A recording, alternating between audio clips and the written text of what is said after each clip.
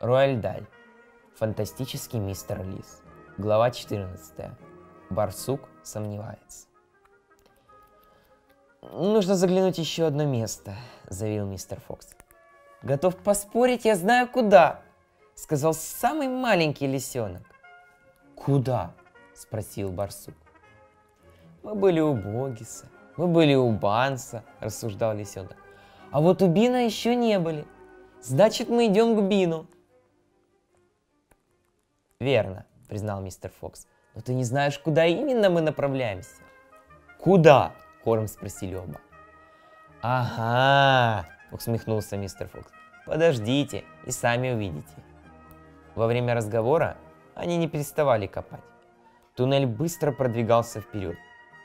«Тебя это ни капельки не беспокоит, Рыжик?» – неожиданно спросил барсук. «Беспокоит?» – не понял мистер Фокс. «Что?» «Да все это воровство!» Мистер Фокс перестал копать, посмотрел на барсука, как на сумасшедшего. «Ты знаешь хоть кого-нибудь в целом мире? Старый ты хрыч!» – сказал он. «Кто не стащил бы пару куриц, если бы его дети умирали от голода?»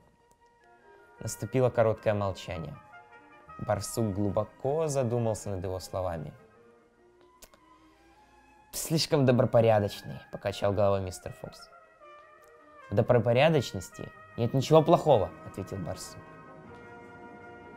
«Послушай», — сказал мистер Фокс, — «боги Банс и Бин хотят нас убить. Надеюсь, ты это понимаешь?» «Да, Рыжик, понимаю», — кивнул добряк Барсук. «Но мы же не опускаемся до их уровня. Мы же не хотим их убивать. Надеюсь, что нет, пробормотал барсук. Нам это даже в голову не приходит. Продолжал мистер Фокс. Мы просто возьмем у них немного еды, чтобы мы и наши семьи не умерли от голода. Верно?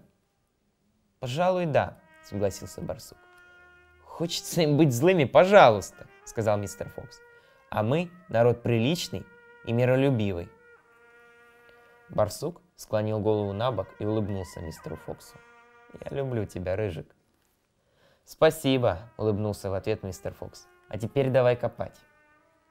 Через пять минут передние лапы барсука уперлись во что-то твердое и плоское. «Что это?» — спросил барсук. «Похоже на каменную стену». Вместе с мистером Фоксом они расчистили землю. Тут и в самом деле была стена, но не каменная, а кирпичная. Кому могло прийти в голову построить стену под землей? «Все очень просто», — ответил мистер Фокс. «Это стена подземного помещения. И если я не ошибаюсь, это как раз то, что нам нужно».